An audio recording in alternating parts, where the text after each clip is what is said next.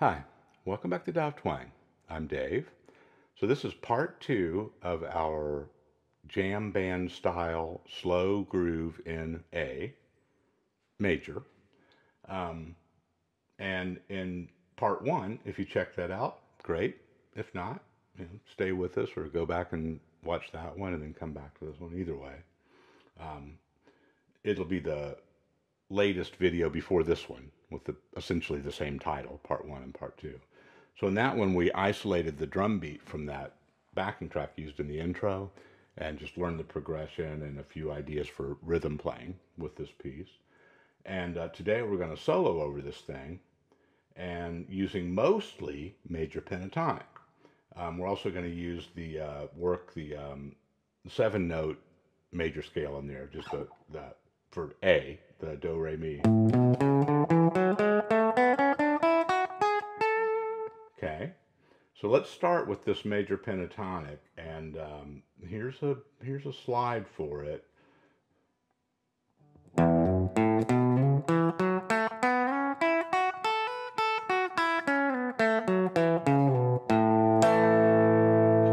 Now our root is that open A in this position. Okay, if you did it up here. So I'm playing faster than the tempo of this jam is, but I'm going to, you know, you, the the diagrams will be featured in the video, and there'll be links to them on my uh, drive in the uh, description section. So, not assuming that everyone's got these these patterns down, that's okay. If you just want to stop it and do some work on that. Um, but notice I go lower than that root. You don't have to do that every time, right? Kind of. That's kind of the, the main frame of it.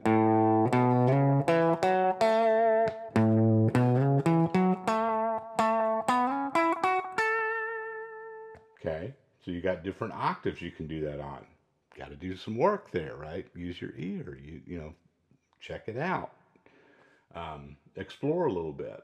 But that's the main idea for that uh, pentatonic. And here I do like a, a two octave version of it, I guess.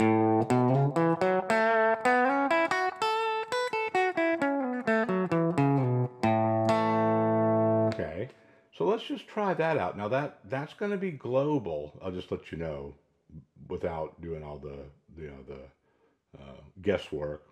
It's going to global meaning that it's going to work over every part of this progression, right? Not just the A chord. You be the judge.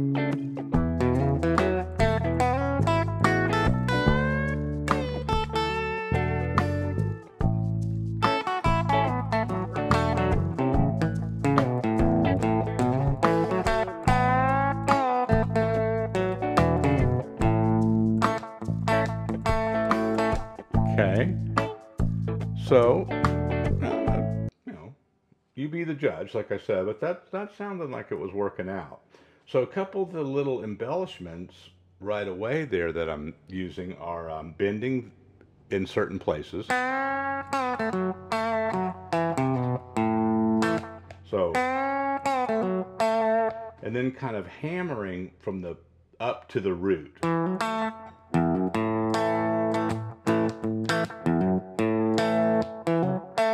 You're actually hammering from the the five to the six, and then to the root above it when you're doing that. If you want to know the the chord, the scale tones.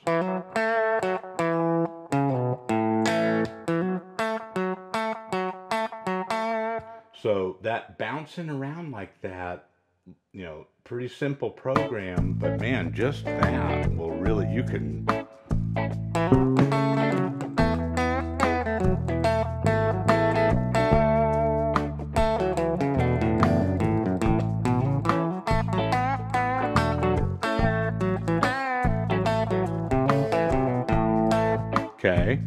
Now I'm doing a couple little chromatic things there or whatever. Don't get too sidetracked on that. One, basically they come out of this, take that main pattern that we're, that we've been looking at. And if you fill in between the two and the, the second and the third note, so if you, with you start on your root.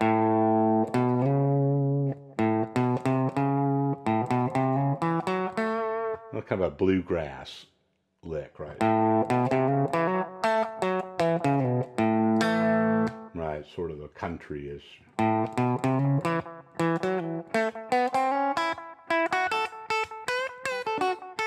So you play around with that, but the main map is and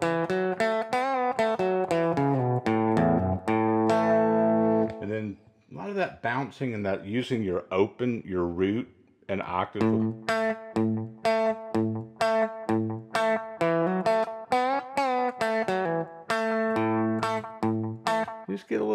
chicken head going you know with that and it just adds a lot of flavor without a lot of cerebral stuff, stuff you have to think about, right?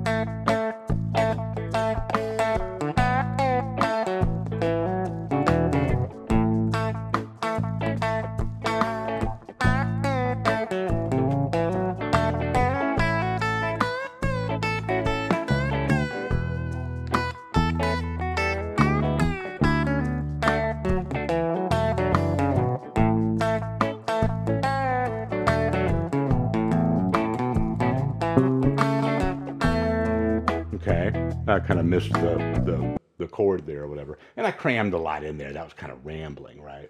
I just wanted to, you know, if you're watching that, I just want you to see, um, you know, how you can really. This gets into that idea that we've talked about several times on the channel of finding a pocket, a cluster of three or four notes, and grooving on it, and letting the chords change behind you, right? Um, that works really well with this style. Um, so bending that one and then work out the octaves.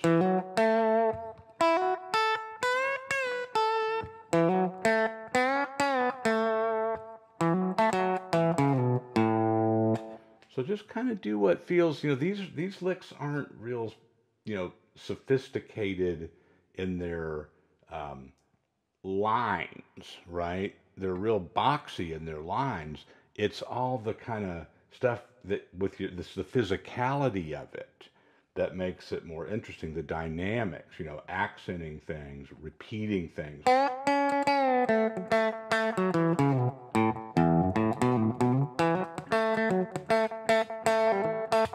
You know, same old stuff.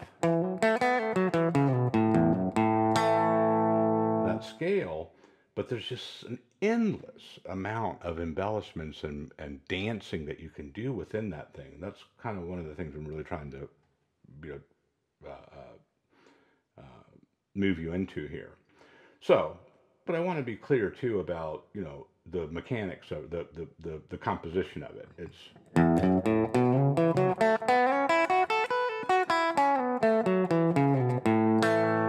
take that diagram and put that backing track on and just park it on that diagram and, and really work out on that until it's under your fingers and you don't have to think about it so much. So the other thing, well, two other things I want to mention here is, as I said, the A major pentatonic will work over this whole progression, all three chords. But another thing you can do along with that is, is move, when you get to the E and the D, move the whole business to those chords. Here's what I mean by that. If this is down here, we're using, you know, that kind of uh, uh, fingering, perhaps. Maybe you're. This is nice because you can really set you up for that pentatonic stuff. So, um, if you think of it this way, you don't have to do that down here because you've got the nut, right? But if you if you think of it like that, then your E, right, be like if that was barred, you know. So that's kind of where you, you know, end up for your E. And then plug in the same stuff.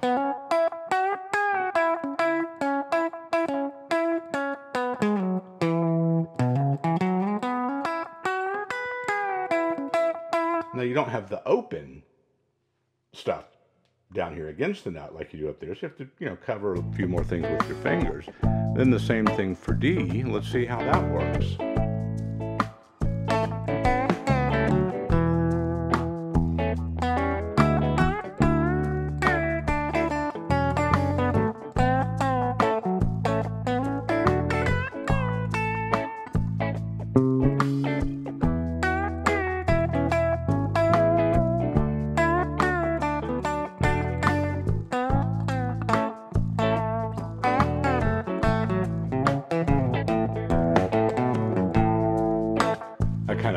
With it there the, on the second time around there. Right? Sometimes when you turn this on, you don't really know where you are. Let me let it go around again. Just, just kind of a simpler routine for practicing that.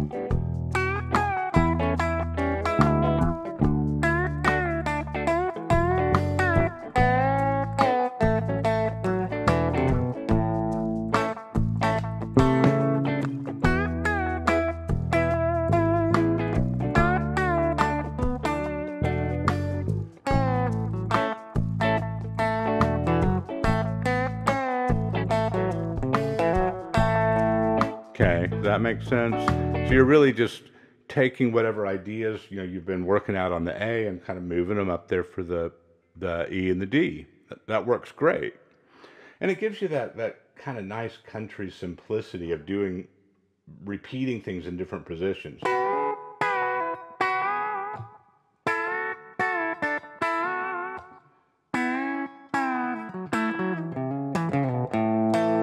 Okay, now if you want to get a little fancier, let's go back down to the A.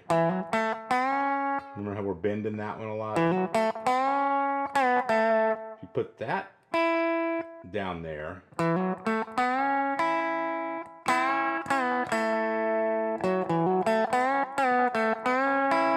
you can hit them together or separate them.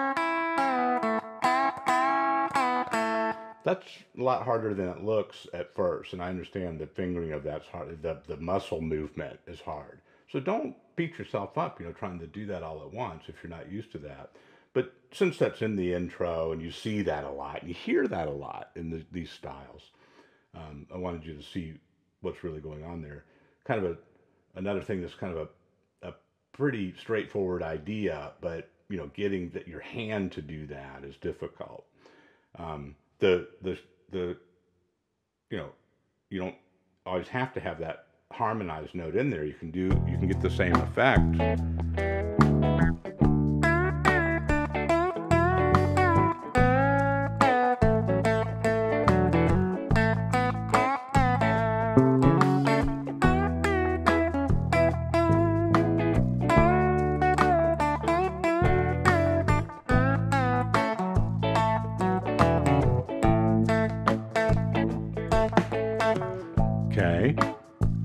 Fact, you want to really probably do it like that. Even if you are able to do that right away with the other note, you want to really spell it out, you know, kind of compose it in, the, in that more abbreviated way, and then start adding those embellishments. Um, so, here's what we've got going on so far. We've got just that scale, the A major pentatonic. Okay, then some cutting and pasting at times. Remember, the A will work across all of it, but you can also.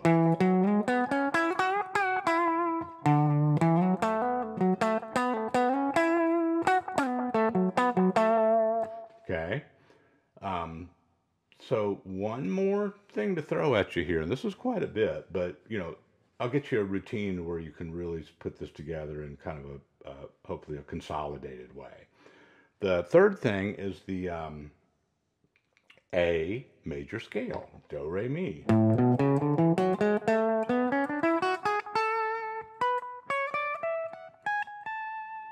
Okay, I'm kind of fishing it out. I encourage you to do the same thing. If you know some, you know, visual patterns for major scale, great. Um, but you know, sound it out, and then you know if you know them in in one position. You know, when I say know it, it, it almost implies like that you can visualize it or write it down. To really know it is to just work out the sound of that sequence.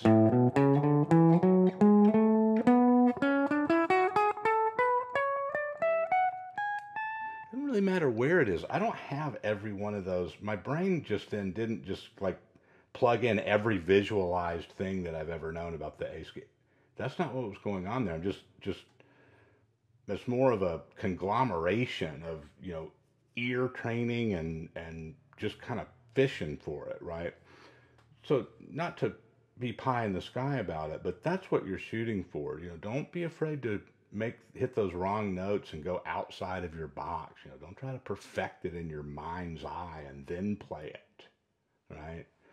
Um, that's a real common hang up um, one that I suffered from for a long time, actually, um, and, and and kind of you know uh, uh, judging mistakes. Oh, that was the wrong note. I got to start back over and get it right.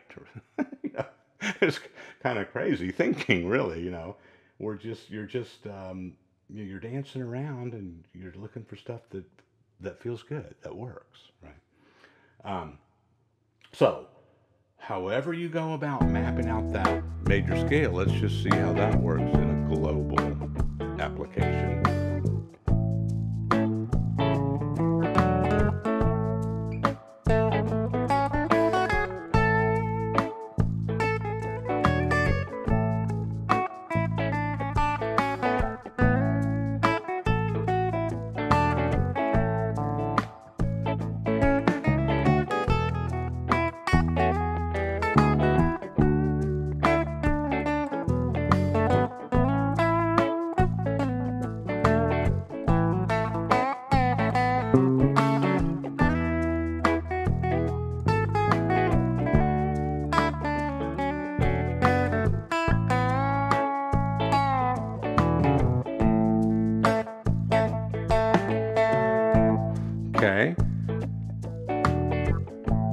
Going to work, right? It's not going to be bad, you know. Um, get comfortable just you know you're going to start seeking out the the the cooler notes to lean on and you know when it goes to the e you know now i'm going to you know move it up or down what you know from where wherever you are but just staying in that continuum right staying in that that river of notes that is that scale, that key, A major in this case. It's that major sound. Um, that's all you really need to require of yourself in terms of your thinking, right? The rest of it um, is really getting so comfortable with it eventually. This takes time. Um, that you're able to just make you know, stylistic choices and melodic choices in real time, right? And, um, you'll get there. So that's our routine. We um, use the A major scale and the A major pentatonic over any part of this progression. And then every once in a while, if you want to um, get a little rockier, a little more country, you, you, you get into that, you know, playing the pentatonic that goes with each one of those root notes of those chords, the, the E and the D. That's quite a bit, okay? I hope that more or less makes sense. I look forward to your comments and um, I just really appreciate all the, the cool feedback and everything. And you all are doing it. A lot of twangers, as has sort of popped up on the comment in the comments a lot. Um, which yeah, let's go with that. We're twangers. Um, uh, are talking about you know really cool progress and changes in their understanding of their playing and and and stuff starting to happen. This is just like really fun, and I just love hearing about all of that and everything. So, um, look forward to hearing from you soon. Take care.